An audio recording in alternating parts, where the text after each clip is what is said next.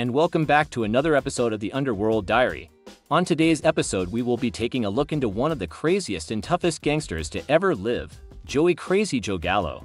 Growing up in the heyday of the mob, Gallo was quick to resort to violence and quickly built a reputation for himself throughout New York, starting multiple mafia wars and being tied to two of the biggest mafia hits of all time.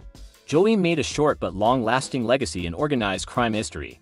The definition of a gangster Joey lived a life where he did what he wanted and didn't bow down to anyone.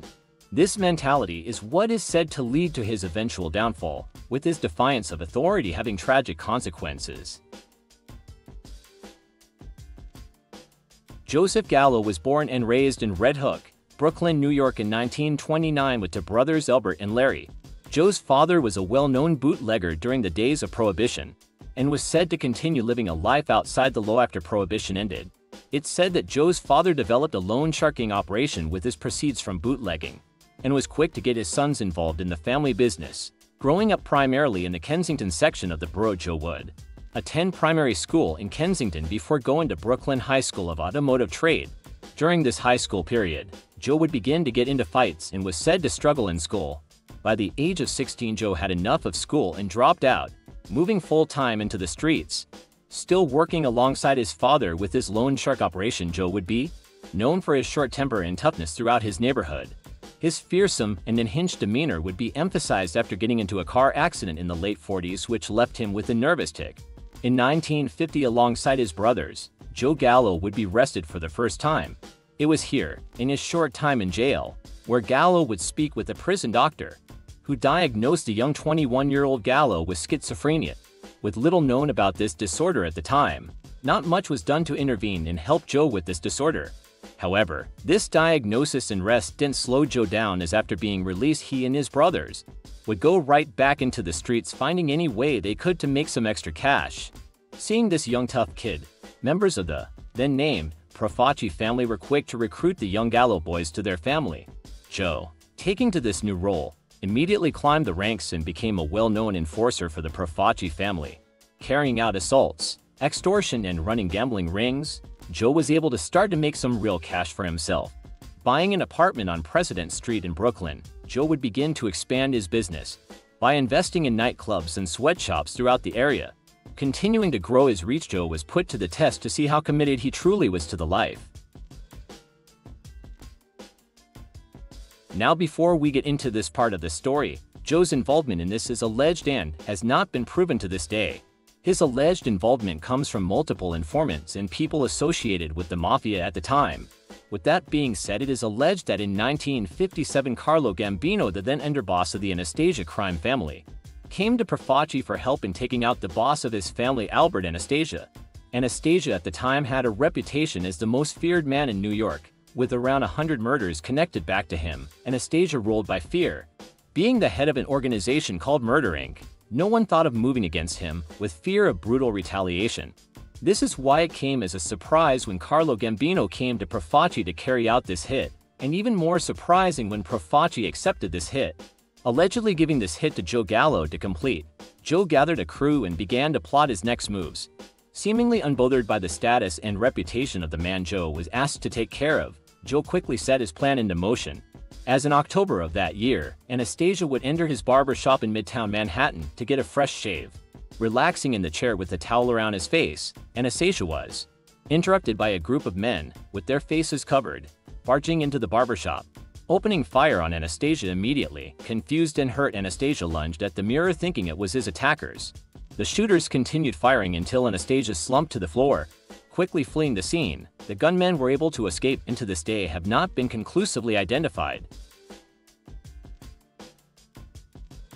In 1958, after allegedly being involved in the murder of the most feared mob boss of the time, Gallo was summoned to testify in front of the U.S. Senate McClellan Committee on Organized Crime. The always cool tough-talking Gallo would show up to the stand wearing sunglasses, with slit-backed hair cracking jokes, refusing to answer any question thrown at him the testimony did little to help the Senate. However, with clips and pictures of Gallo's testimony circling round, his brash demeanor and gangster image gave him publicity across America adding to his notoriety. Proving his commitment to the family with his testimony, or lack thereof, and alleged involvement in the Anastasia hit, Joe felt he should have a bigger position in the family. In 1961 this came to a breaking point as Joe Gallo and his crew felt that the financial reward they were receiving wasn't enough. Growing more and more frustrated, Gallo devised a plan to kidnap the leadership of the Profaci family and hold them for ransom. Quickly implementing this plan in February of that year Gallo and his crew kidnapped underboss Joseph Magliocco, Joe Profaci's brother Frank Profaci, Capo Salvatore Musacchia and soldier John Simone. Unable to capture Joe Profaci himself the crew held onto the four other hostages. The Gallos demanded a more favorable financial split from Profaci and $100,000 upfront in exchange for his men back. Gallo, wanting to demonstrate their seriousness, wanted to kill one of the hostages to send a message, but was told no by his older brother. With negotiation going on for a week, the Gallos and Profaci finally came to a deal and the hostages were released. However, Profaci had no intention of keeping his promise and with help from the administration of his family immediately went to seek vengeance on the Gallo crew. He did this by first bribing Carmine Persico to switch his allegiances from the Gallos to him in order to catch the Gallos off guard. Then the first shot was fired in this war when Joseph Gioli, a Gallo enforcer, was shot and killed by the Profaci family. This was seen as a declaration of war and saw the Gallos retreat to Joe's apartment on President Street, where they would hide out as the war waged on. In August of that year, Larry Gallo was called to a meeting at Sahara Lounge by his thought-to-be ally Carmine Persico. Once surviving Carmine and a Profaci family member would attack Larry and attempt to strangle him to death. Luckily for Larry a police officer happened to walk by and noticed this assault and quickly broke it up. This incident is said to be where Carmine Persico picked up his nickname the Snake. Hiding out in his apartment, Joe and his crew were unable to make their usual collections and began running low on money. In order to get some cash to live off, Joe went to a local cafe and tried to extort the owner. The owner immediately told the police and Joe was quickly arrested. Being convicted of conspiracy and extortion in December of that year, Joe was sentenced to 14 years in prison, of which he served 10.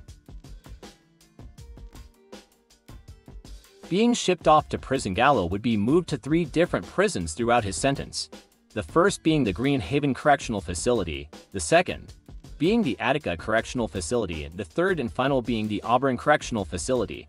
During his time in prison, it is said that Joe Gallo would develop strong ties with African American inmates and would become closely associated with drug trafficker Nicky Barnes, with the two notorious criminals exchanging information with one another. Gallo saw an opportunity for the Mafia and African American gangs to join forces. At this time Gallo would recruit African American gang members to his crew, creating an alliance that could benefit the both of them once released from jail.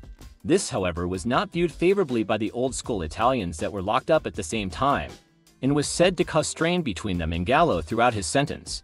After moving to Auburn prison it was said that Gallo began to spend his time painting and pursuing art to pass the time. Some correctional officers at the time would praise his artistic abilities and claimed that Gallo was a talented artist. While serving his time the Profaci and Gallo's own family would experience some change. As in the years of his imprisonment, Profaci would pass away with his underboss Magliocco taking control of the family. However, this would be short-lived as later that year Magliocco would be exiled from the Mafia. After conspiring to carry out a hit on the other bosses on the commission, this resulted in Joe Colombo taking over the family and becoming the boss. Joe would hold this position for the remainder of Gallo's prison sentence, however, before he was able to get out of prison and meet the new boss. He had to deal with the unfortunate news that his brother Larry died of cancer in 1968. This of course crushed Joe, as he lost his brother, but he also lost the only person that could keep him in check as well. In 1971, three years after his brother's death, Joe was finally released from prison. Upon being released, the new head of the family, Joe Colombo, wanted to set up a sit-down with the newly released Gallo and establish some sort of peace between the two. Colombo offered Gallo $1,000 as a welcome home gift, to which Gallo angrily rejected, seeing this offer as disrespectful for all the time and work he put in for the family, stating that he did not agree to any sort of peace treaty and demanded the boss pay him $100,000 to end this conflict. Joe Colombo, not viewing Gallo as a threat, rejected this, kicking Joe Gallo out of the meeting. Enraged, Gallo left and went back to his apartment and prepared for round two of the war. After Gallo left the meeting, Colombo discussed the conflict with his administration. Seeing the potential of the war reigniting, the administration decided that a hit should be placed on Gallo's head. Once again Joe Gallo's involvement in this hit is alleged and has not been proven to this day. However in June 1971, during his second annual Italian League rally, boss Joe Colombo was shot three times by a lone gunman. Joe survived the attack but was paralyzed and remained that way until his death in 1978. The gunman was later determined to be Jerome Johnson, who was immediately killed by a Colombo bodyguard following his attack. With the recent argument with Colombo, the fact that the shooter was African American, and Joe's ties to African American gangs, suspicion from both law enforcement and mafia members fell on Joe Gallo. Many seeing this brazen attack, felt that only Joe would be crazy enough to order a hit in such a public setting. The shocking shooting of the powerful boss led the people in the family immediately looking for revenge, trying to confirm their suspicion in tandem with a police investigation. The members were not convinced. After an investigation done by the police concluded that the shooter acted alone and was not connected to organized crime. Ignoring this investigation many in the family still believed the shooting was Joey's doing. However there are other theories that members of other mafia families, including Carlo Gambino ordered the hit on Colombo due to the publicity he was bringing to the mafia, and Joe was used as a scapegoat for them. These are all speculative in Joe's involvement, if any, in this brazen shooting is all alleged. After the Colombo shooting, the remaining administration wanted to get revenge on the suspected shot-caller Joe Gallo. This came to a head on the night of April 1972. On that night, Joe Gallo entered Umberto's Clam House at 4.30 am. He came to the restaurant with his wife, his sister, her daughter, and his bodyguard Peter Pete the Greek Diapoulos. Getting seated at a table in the back of the restaurant, Joe did not notice at the bar of the restaurant a Colombo associate. Seeing Joe enter the bar the Colombo associate quickly left and informed the heads of the Colombo family that he saw Joe was at this restaurant. With this information members of the Colombo family were sent to the restaurant immediately. At the table with his friends and family Joe was interrupted when four gunmen came rushing in and opened fire on Gallo and his bodyguard. Gallo tried to draw his gun but was hit by a sea of bullets his bodyguard being hit in the crossfire dove for cover. Joe Gallo being badly wounded staggered to the front door where collapsed on the street. Gallo was rushed to the hospital where he passed away in the emergency department. Joe Gallo, like many mobsters at the time, was born into the life. With a father running a loan sharking operation and being a former bootlegger Joe was introduced to life outside the law at a young age, Growing up in this environment with his brothers and friends all influencing him to take up a life in the street, Joe was slowly dragged in deeper and deeper. Despite suffering from serious mental health conditions, Joe was able to rise in the mafia and build a strong crew. Not willing to listen to any authority, he had constant conflict with the heads of organized crime and law enforcement throughout his life. Living as a true outlaw in his alleged ties to major mafia heads, Joe lived a fast life that was cut short by these same decisions. Thank you for watching another episode of Underworld Diary. If you like the content covered on this channel, hit the like and subscribe down below. If you have any topic you'd like covered in future episodes, feel free to leave a comment. If not, I'll see you next episode with another story from the underworld.